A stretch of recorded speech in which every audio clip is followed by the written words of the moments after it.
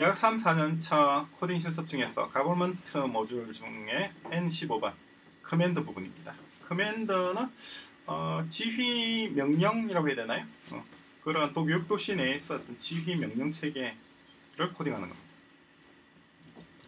교육 도시 구성원들 간 지휘와 명령 체계 명령 체계를 구성합니다. 여기에 그러니까 뭐 교육 도시가 군대도 아니고 그런데 무슨 지휘 명령 체계가 있느냐라고 할 수가 있는데 그렇진 않죠. 왜냐하면 교육 도시 시민들 모든 시민들은 시민들은 근로 의무가 있고 의무가 있죠, 그죠? 근로 의무가 있다고 하는 것은 어, 어떤 어떤 생산 조직 내에서 어떤 지시와 이행의 상하 관계가 반드시 존재한다는 거죠. 지시와 이행의 상하 관계. 얘가 반드시 존재하는 거죠. 그게 없을 수는 없죠. 누구로부터 지시받지 않고 어, 일을 한다고 하는 것은 사영업 같은 경우가 가능하긴 하겠습니다만 교육도시에는 사영업이 아닙니다. 사영업이 없어요. 모든 교육도시에 있는 모든 비즈니스는 어, 프랜차이즈 부분에서 또 별도로 설명합니다. 모듈에서. 어쨌거나 우리가 알고 있는 그런 자영업체는 교육도시에는 없습니다. 예, 그러니까 그런 어떤 커맨드라고 하는 것은 결국 여기 명, 목숨, 명, 목숨을 다해서 따르는 건데 지금 왼쪽에 있는 거는 이 무슨 군대 로봇 같은 어, 배경 화면, 군대 로봇 같은 겁니다만은 어, 그런 군대와 비슷한 그러한 속성을 가질 수밖에 없어요. 그래서 예를 들어서 설명드립니다. 예를 들면 예를 들면 어, 제주 바다에서 그래서 난파의 위험에 처한 위험에 처한 선박 선박으로부터 SOS 신호가 접수됐다 접수됐습니다. 되었다면은 그럼 어떻게 되느냐는 거예요. 그렇다면은 자 그 순서대로 진행되는 거예요. 일단 접수됐습니다. 그럼 SOS가 됐죠. 그러면은 어, 접수한 것이 사람일 수도 있고 어, 아니면 AI 시스템이 접수를 했을 수도 있죠. 뭐, 자연인일 수도 있고 AI일 수도 있고 누군가가 어쨌거나 접수를 했으면 접수 다음에는 어떻게 되나요? 그런 다음에는 출동 명령, 긴급 구조, 긴급 구조 팀으로 하에게 출동, 출동 지시 명령이 날아갈 수밖에 그러면은 어, 긴급 구조 팀에 속하는 자연인과 장비, 자연인과 장비, 장비라 그러면 구조선 이런 게 되겠죠. 등이 이제 출동하고 그런 다음에 구조 작업을 진행을 하고 그 과정을 또 다시 어디 관련자에게 관련자 관련 기관에게 현장 영상을 송, 어, 송신하고 이런 일련의 과정들이 쭉 이어지게 될 거란 말입니다.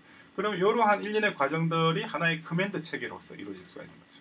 명령과 지휘 체계가 구성되는 겁니다. 그래서 도시 내에서 어, 도시 내 다양한 활동들, 다양한 활동. 이라 그러면 그 중에는 일상적 활동도 있을 거고 일상적 또는 어, 비일상적 활동. 난파 이런 거는 비일상적이고 어, 생산 활동. 어, 아침에 가게 문을 열고 저녁에 가게 문을 닫고 이거는 일상적이잖아요. 그죠? 그러한 일상적 업무와 비일상적 업무 각각에 대해서 업무 각각에 대해서 업무 수행 프로세스를 수립하고 수행 프로세스를 확정해야 되겠죠. 확정. 하고 그런 다음에 확정된 프로세스에 따라서 확정된 프로세스 각각이 발효되었을 때 그러니까 게시되었을 때 게시된 이후 이행 상황 이행 상황이 제대로 어, 관철되도록 관철되도록 어, 시스템으로 구성한 시스템 구성. 그게 요 모듈. 여기에 참여하는 개발자들의 역할입니다. 그래서 어, 어떤 상부 그 상부 그 지시라고 하는 것이 지시의 원천, 지시나 명령의 원천이라 그러면 최고 권한자죠, 그죠? 원천은 자연인일 수도 있고 자연인이거나 또는 AI 시스템 자체가 어, 명령을 내리는 주체가 될 수도 있습니다. 우리가 교육도시 AI 교육도시 자신이 AI 시스템으로 전반적으로 운영되는 거잖아요. 그러니까 지시의 원천은 자연이거나 AI 시스템일 수가 있는데 일단 지시된 것은 지시된 사항은 끝까지 관철될 수 있도록 관철될 수 있도록 어, 그 그러니까 이행 과정을 강제할 시스템 즉 방안 이행을 강제한다는 거예요. 이행을 강제한다는 게 무슨 말이냐니까 예를 들어서 어, SOS 난파의 위험을 처한 선박으로부터 SOS가 접수가 되었다. 그러면서 긴급 구조팀에게 출동을 지시했다. 자연인과 장비 등이 출동을 하는 거예요. 어디 현장으로. 그런데 자연인 중에 누군가는 늦잠을 자느라고 어, 출동 명령을 받았음에도 불구하고 출동을 못할 수가 있죠. 그죠? 자연인 10명에게 출동을 지시했는데 그 중에 한 명이 빠졌을 수도 있을 거 아니에요. 그죠? 그리고 또 장비는 뭐 선박 구조선이라든가 구조 헬기라든가 이런 것이 이제 출동 몇 시까지 음, 출동하라 그러면은 그러면은 접수한 시점으로부터 5분 이내에 이것이 출동되어야 된다. 장비 등이. 그죠? 그럼 5분 뒤에 이 장비는 무조건 하고 출동한단 말입니다. 왜냐니까 얘는 자율 주행이나 자율 항행이 가능하잖아요. 주행, 자율 항행, 자율 비행. 스스로 비행하고 스스로 선박처럼 선 바다 위를 항해할 수 있는 그러한 장비들이니까 얘는 5분 뒤에 출동을 하는 거예요.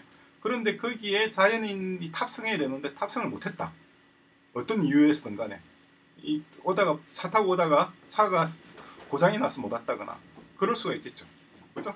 그러면은 그에 대해서 이 자연인을 대응할 다른 방안이 수립되어서 그 다른 자연인을 현장으로 출동할 수 있는 제2안을 게시를 하고 그 제2안이 어, 제대로 관철되는지를 모니터링하고 하는 것들이 시스템적으로 구성되어야 된다는 거죠. 사람이 하는 게 아니라. 그죠? 사람에게 자연인 사람에게 맡기는 것이 아니라 시스템에 의해서 모든 것이 동작하는 거죠. 자연인 사람이 아니라 시스템에 의해 어, 1년의 과제 이행 과정 과정을 모니터링하고 어, 대응하고 긴급 상황 그러니까 돌발 상황 돌발 누가 버스를 못 탔다거나 예? 대응 하는 등 그죠? 전반적 프로세스 프로세스를 프로세스를 확립하는 것 확립하고 한 정립하고 또 하는 것들 요것들이 어, 요 명령 command spool에 참여하는 개발자들의 역할입니다. command 개발자들은 그 명령을 내린 사람들이 사람이 명령을 내 상사 사장이 부하 직원에게 어, 언제까지 뭘 생산하라고. 그렇게 명령을 낼 수도 있고 가게 어, 점장 점주가 어, 그 직원들에게 뭐 식당 청소를 언제까지 좀 해라고 이렇게 지시할 수가 있죠. 어쨌거나 누가 어떤 지시를 하든 간에 그 지시가 어, 끝까지 관철될 수 있도록 시스템적으로 뒷받침하고 관철되지 않을 경우 그에 대한 대응책 관련 직원을 문책한다거나 그죠? 그런 것들이 이어질 수 있도록 도시 전체를 하나의 에, 체계를 구성하는 거예요. 이것도 굉장히 코딩할 때 주의를 해서 코딩해야 됩니다. 왜냐하면 코딩 자체는 어렵지 않아요. 이거 이거 코딩 자체는 제가 생각하더라도 벌써 머릿속에 딱 그 알고리즘이나 시나리오가 딱 들어온단 말이에요. 그러니까 코딩 자체는 어렵지 않은데 이게 자칫하면은 상당히 비인간적 비인간적 근로 환경으로 비칠 수가 있죠. 비칠 수가 있다는 점.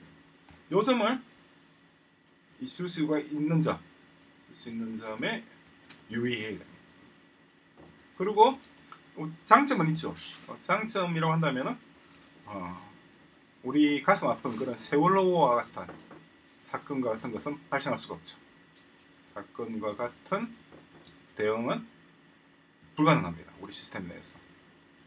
왜냐니까 어, 그 어떤 상황에 대해서 각각의 뭐예요 책임과 권한이 명확하게 주어지죠. 그 거기에 참여 구조 활동에 참여하는 각자의 권한과 대응 절차 프로세스가 딱딱 주어지고 있고 그 프로세스대로 이행하지 않았을 경우에 즉각적으로 대응 조치가 바로 시스템에 의해서 진행되죠. 예를 들어서 구조증이 갔는데 구조증이 구조 작업을 하지 않는다. 그러면 그에 대한 대응 조치가 바로 이어질 수밖에 없도록 그렇게 구성해야 됩니다. 상당히 이것도 어, AI 기술도 그, 들어가야 되고 하여튼 이런 사건 요점은 간단합니다. 요, 요건 요점은 세월호 사건 같은 그런 사건이 두 번 다시 재발할래야 할 수 없는 어떤 시스템적 수단을 만들어 놓는 만드는 거예요. 그게 요 command 부분의 역할입니다. 그리고 또 다른 거라고 한다 그러면은 명령 불복종 같은 것도 있을 수가 없는 거죠. 명령 불복종이 불가능한 그러한 시스템. 그래서 명령 불복종이거나 혹은 뭐, 뭐 극, 극한의 예라고 해야 되나요? 어, 극한의 예로 하면은 쿠데타 같은 것도 불가능한 거죠. 쿠데타도 불가능. 왜 불가능하냐니까 이것도 시스템적으로 결정됩니다. 시스템적으로 결정되는 것이 어, 지금은 총기 개개인, 총기 각각의 제어권은 총기를 다루는 병사 혹은 간부가 제어합니다. 제어.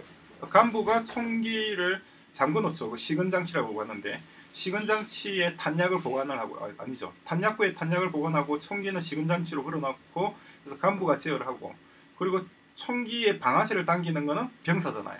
그죠? 그러니까 병사와 간부가 어, 어떤 화력, 무력을 다루고 있죠. 지금 현재 군대 시스템은 그렇습니다. 현재 기존의 군대는 그렇다는 거죠. 그래서 그런데 만약 이러한 시스템, 명령 시스템을 구성한다고 한다면은 그럴 때는 어떻게 된 그러면은 이 총기 각각에 대한 각각에 대한 제어권을 중앙에서 가질 수가 있어요. 중앙에서 행사합니다. 그러니까 어, 중앙에서 총기 각각에 장착된 그죠? 총기 각각에 장착된 장착된 장착된 어떤 장, 뭐 장치가 있겠죠.